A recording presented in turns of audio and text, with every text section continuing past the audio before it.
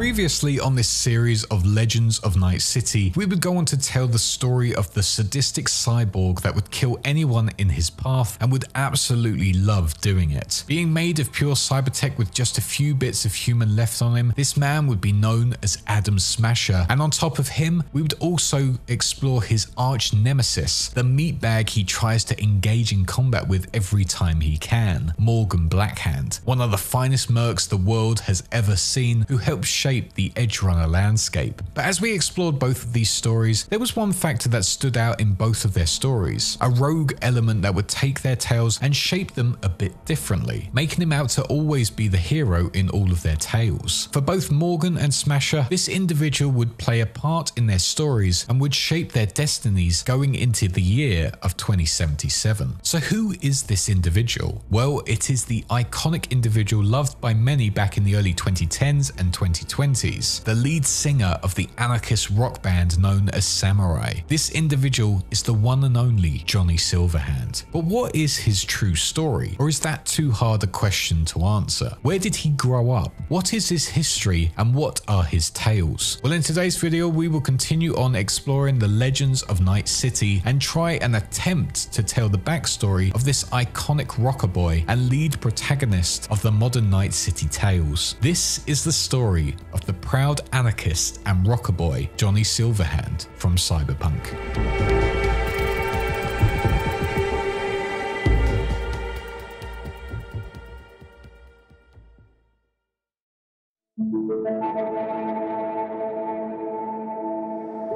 Johnny Silverhand was born under the name Robert John Linder within College Station, Texas on the 16th of November 1988. Not much is known of Johnny during his childhood years with no information about his parents or guardians. However, when Johnny got to teenage years, he quickly signed up to serve his country, lying to the recruitment officer about his age to make sure he definitely got in. Getting into the army, it didn't take long for Johnny to see some action as he was immediately sent to Nicaragua to take part in the Second Corporate War within the year of 2003. Johnny's war was pretty horrific, and when fighting on the front lines, it was almost certain that he was going to be killed in battle. However, after losing an arm and lying there thinking his life was about to come to an end, a friend would step in and save his life. But this would come at a cost, as his friend would sacrifice his own life to save Johnny's. Mourning his friend, Johnny had to continue fighting in this corrupt and manipulative governmental war, and Johnny could really see how horrific it had become. But it didn't take long before the government's military secrets were exposed publicly, and now knowing what was going on within this war and behind the scenes, many of the American soldiers dropped their weapons and their national flags and hit back against their country the only way they knew how, by deserting the military and refusing to fight for them ever again. But the government wasn't having any of this, and back on home soil, propaganda campaigns launched to make it look like the soldiers were the ones to blame and that the people should know who was costing their country. This indeed worked, as many of the unknowing public would go on to hate those who deserted the military and publicly shamed them if they could. Johnny was amongst one of the many soldiers who went against their country's government as he had lost an arm and a true loyal friend thanks to their lies. After leaving the war and becoming a hated member of society, Johnny would head for Night City and would go on to stay within a hotel for a whole month. And whilst there, he reflected back on his time within the war and realized he had to change going forward. Here, he would change his name to Johnny Silverhand as he had just got himself a replacement cybernetic arm to replace the one he had lost in the war. With this new identity, Johnny knew he could not just sit back and watch the government get away with what they had done. And with this new goal in life, he would begin his mission of rebelling to expose all of the world's corruption,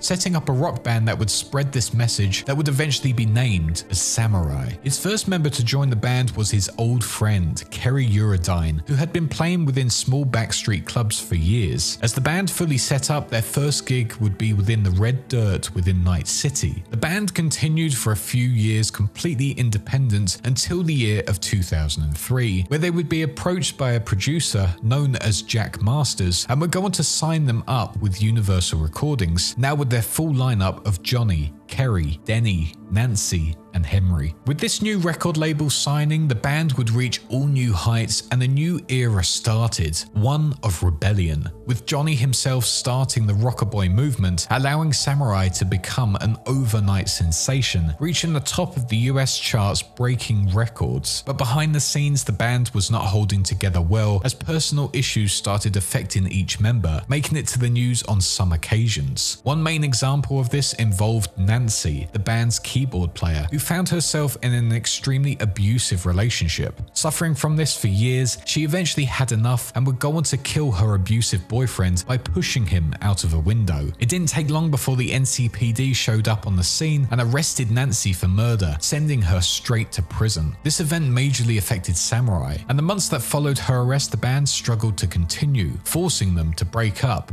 within 2008. But despite the breakup, Johnny would still go on to be regarded as one of the most popular musicians around, and he himself knew people saw him as such. With this in mind, Johnny felt he could use that star power to set up his solo career and continue to push his messages about, overthrowing governments and corporations. But with him now on his own away from the rest of the samurai, he would be a prime target for companies trying to milk his star power for money. With one record label known as DBS Music so desperate to sign him that they would start blackmailing him by threatening to reveal his true identity as a deserter of the Second Central American conflict to the general public who loved him so much. But Johnny did not cave to this threat and instead signed once again to Universal Music, releasing his first solo album titled Sins of Your Brothers, in which he himself would tell his listeners about his past of being labeled as a deserter and also listing why he chose to go against the government as well as why he is on the particular path he is on now. As the 2010s was now approaching, Johnny had completely changed the world thanks to his first ever solo album. He had now opened people's eyes to what a deserter really was, and thanks to it, the public perception of him and many others had changed to something a bit more positive, and anger was shifting back onto the government and corporations. But this was just the start of his campaign. Johnny now knew he had people willing to follow him into his battle, and now as the decade was ending, it was time to step it up that little bit further.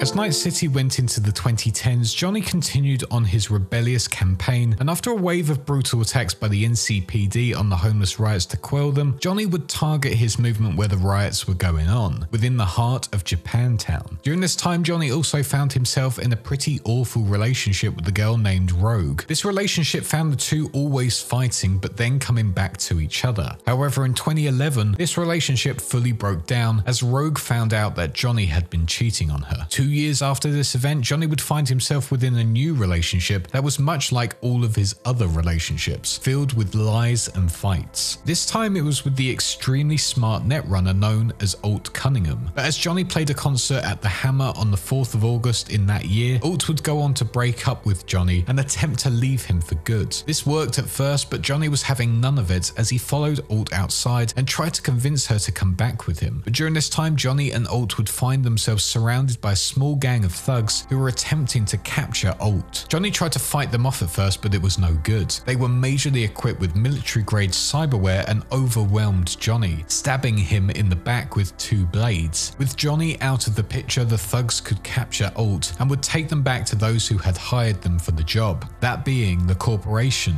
of Arasaka. Arasaka needed Alt as she had been responsible for the early creation of the software known as Soulkiller, and with her working within Arasaka, she could help develop it into a brand new variant, one that would be a deadly weapon in the wrong hands. Johnny learned quickly who was responsible for this kidnapping and sought to hit them back hard and fast, and on the 5th of August 2013, Johnny would go on to assemble a small strike team that would consist of his ex, Rogue, a media reporter Thompson, and a legendary nomad named Santiago Aldecaldo, and altogether they would go on to infiltrate Arasaka Tower in Night City to save Alt from whatever fate they had planned for her. But it wasn't just this crew as Johnny would also ask some of the members of his old samurai band to help cause a distraction as they were going to perform a free concert in front of the iconic tower to help start a riot against the corporation. With this riot going on, Arasaka troops would then be sent in to deal with the situation, making it easier for Johnny and his strike team to go go and save Alt. The plan worked a treat as they were able to breach the tower with barely any resistance holding them off. But some members of the tower knew what was going on, as when Johnny and his team reached Alt, Toshiro Arasaka was there with her, trying to negotiate with Johnny, but also just before that would use the new Soul Killer software on Alt to trap her into the Arasaka mainframe. Whilst Johnny mourned over the loss of Alt, checking her body and finding that it was lifeless, Alt was still alive within the mainframe, desperately trying to get out and communicate with Johnny, but it was no good. She would be there forever. With Alt laying dead on the chair, Johnny wasted no time in killing Toshiro, giving him no real chance to plead for his life. After that, he would go on to gather Alt's still warm body and disconnected her, allowing her to be free from Arasaka's torture, or so he thought anyway. After this tragic loss, Johnny left Night City for good to get away from the horrific things he had just witnessed and to be free from the brutality of the corporations and government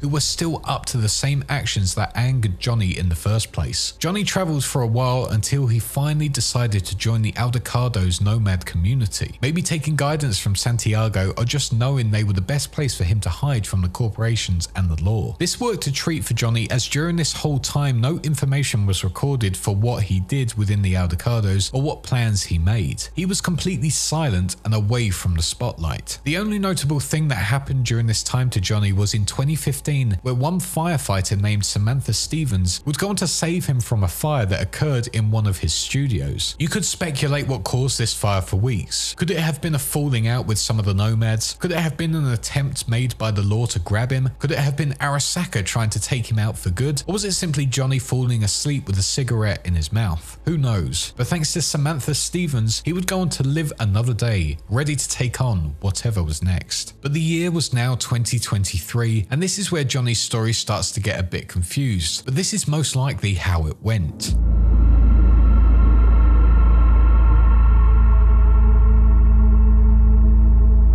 With Johnny still being on a campaign against Arasaka Corporation, he would find himself enlisted by the American Armaments Corporation named Militech, with a fellow merc that had been renowned all over the world named Morgan Blackhand. Together, these two would assemble another strike force that would take their Militech gear and assault the Arasaka Towers in Night City to recover important pre-data crash data, and in the worst case situation, taking the tower out with a mini nuke. But despite the Fourth Corporate War triggering this attack, Johnny had other intentions for why he wanted to join Morgan for the assault. Johnny's reasoning was to go back in and try and find Alt once again within the Arasaka office mainframe. Separating into two different teams, Johnny would go on to lead Team Alpha, with Blackhand leading Team Omega. What happened within the tower all depends on who you believe. The first story states that whilst on their task, Johnny and his team came under fire and were pinned down by some of Arasaka's special forces, which included the cyborg known as Adam Smasher, after they had found Alt and were trying to escape the tower's labs. Being knocked down in these attacks, Johnny was able to get back up with the Militech SMG in one hand and his precious Malorian in the other, and began shouting and provoking Smasher, emptying everything from both guns into him. Smasher, however, was having none of it, as he could not believe the nerve of this rocker boy who truly thought he could take him down. Walking up to Johnny unharmed by his bullets, Smasher would pull out his auto shotgun and with one shot would cut Johnny in half. The strike team's netrunner Spider Murphy tried desperately to get Johnny to save him, but in the process was stopped by Rogue, who knew what had happened and told her that he was gone. In her last effort to help or communicate with Johnny, Spider would take out a data chip Alt had downloaded her a long time ago and would go on to insert it into the back of Johnny's skull, whispering to him, I'm sorry, Johnny. But as she went to recover her data suitcase after this, she would go on to realize it had been destroyed in the crossfire. Devastated by what had happened, Spider and Rogue left behind their dead friend Johnny, knowing that one day in the future he would be avenged and Smasher and Arasaka would pay for what they had done. The other story, however, told of Johnny's bravery in which he was able to amazingly survive the initial fight against Smasher somehow. However, the Silverhand engram does not disclose this information. Instead, it would show him getting to the helicopter to escape the tower that was about to be blown up by the mini nuke planted by Johnny himself. But just before before he gets on, Smasher would take him down and blow off his cybernetic arm, to then be captured by Saburo Arasaka himself and interrogated. Under their capture, he would then be subjected to their soul killer program as his consciousness would then be scanned and stored on an engram. Whilst it is unknown what exactly took place within that tower, with both stories contradicting each other and Morgan Blackhand being unmentioned within Johnny's own memory, it is a fact that Johnny did not make it out alive, and that was all thanks to Smasher and his sheer brutality. Over time, his friends and contacts would forget about him and move on from their revenge mission, and the legend of Johnny Silverhand would sadly just be a tale of the past. Likewise with the band of samurai. Saying all that, however, there would be one place that marked his passing in Night City, and that would be within the North Oak Columbarium. Here, his epitaph would use his full name and would state Robert John Linder, son of a bitch who never gave up,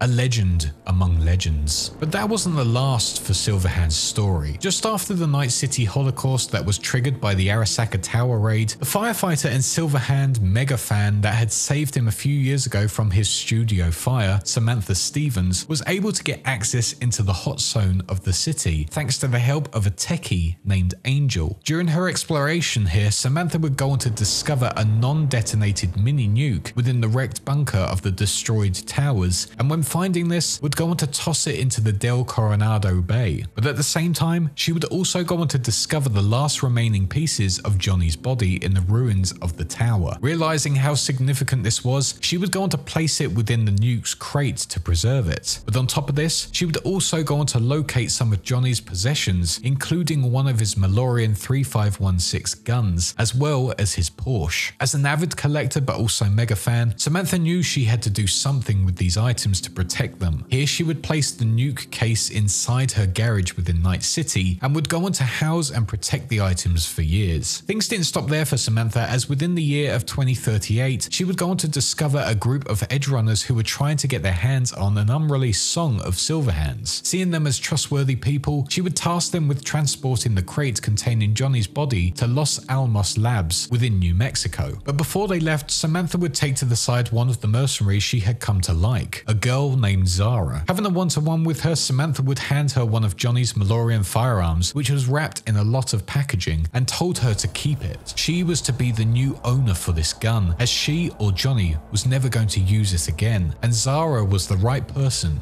to carry it for him. Eventually, the Edge Runners would go off to transport the crate, and after a long trip, they would get to reach New Mexico City and deliver the crate to the techie Angel. Receiving the crate, Angel would open it up and witness the body of Johnny Silverhand, and seeing this sight, Angel would simply remark, Hello, my love.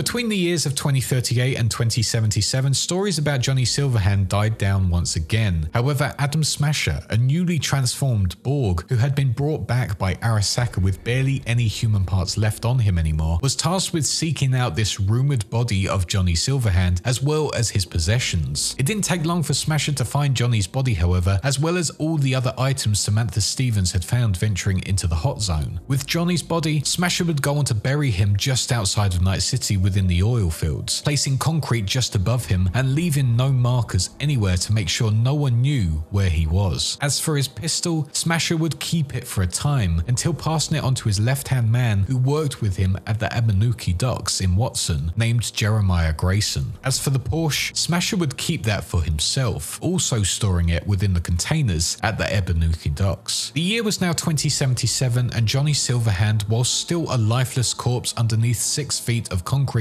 was still out there. At least his soul was, as it had been contained within a prototype data chip named the Relic. On this relic, Johnny's engram would be housed with all of his personality that his friends had remembered from a time past. Originally, this chip would be safely housed with Saburo Arasaka. However, his rebellious son, Yorinobu Arasaka, would steal it from him and would go on to take it to his penthouse within Konpeki Plaza in Night City. The main reason for stealing it was to draw out his father into the public and face him one to one. For a while, this secret was safe as Yorinobu would be heavily defended at all times by Adam Smasher, but at some point, the incredible netrunners of the gang, the Voodoo Boys, would discover this information and planned on stealing it for themselves so they could get into contact with the legendary netrunner that was Alt and have her help them in bypassing the black wall within the net. But as this group started planning, they would bring in a third party, Evelyn Parker, to help them brain dance the room for security measures as well as find the location. But Evelyn Parker did not stick to her word and instead betrayed the Voodoo Boys and seeked out a way to steal it for herself. In the end, she would go on to share this information with the fixer Dexter Deshawn and assemble a small team of three, two up and coming mercs, Jackie Wells and V, as well as a netrunner named T-Bug. As the raid went ahead on Yorinobu's penthouse, everything seemed to be going well until Yorinobu found himself with a guest. His plan had worked, and Saburo Arasaka, his father, had come to meet him in person. As V and Jackie Wells hid with the relic containing Johnny's engram within it, they would come to witness the murder of Saburo by his own son and be the main suspects in his murder. As they desperately tried to escape, the relic would be heavily damaged, and the only way to save it from being destroyed was by inserting it into their shard slot in their head. For a while, Johnny's engram would start taking over Jackie, but as he was massively injured,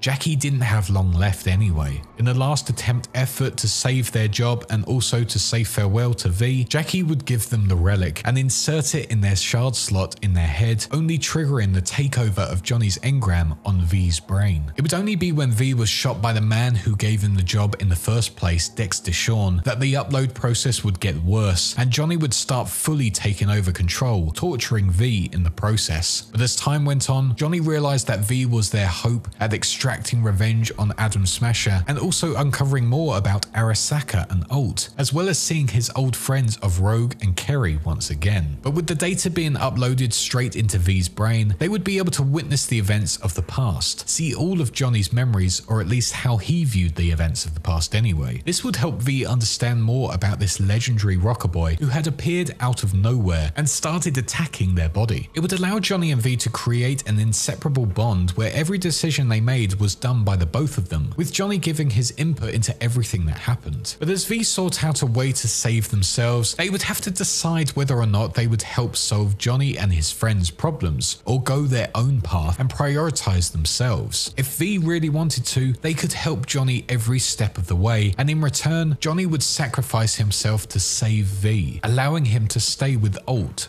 forever. However, if Johnny were to take over full control of V's body, he would go on to leave Night City feeling grateful to be alive once again, but also sad that it had cost him a friend in V, whose consciousness would now be gone forever. In the end, Johnny will forever be remembered as one of the greatest legends of Night City, whether that be due to the events of the early 2000s, 2010s, and 2020s with his music and anti corporation and governmental messages, or due to his actions through the body of V in the 2070s. However people remember Johnny, he will always be a solid part of Night City's history within the 21st century. Maybe his journey will continue on, or maybe his and V's venture into Arasaka Tower would be the last we will ever see from him. Johnny's tale might be filled with lies and maybe many stories are yet to be fully told truthfully, but that doesn't change the fact that he made a marker on this city and many still remember his name to this date. And as his one and only marker within Night City says, Johnny Silverhand aka Robert John Linder, was indeed a son of a bitch who never gave up. He truly is a legend amongst legends.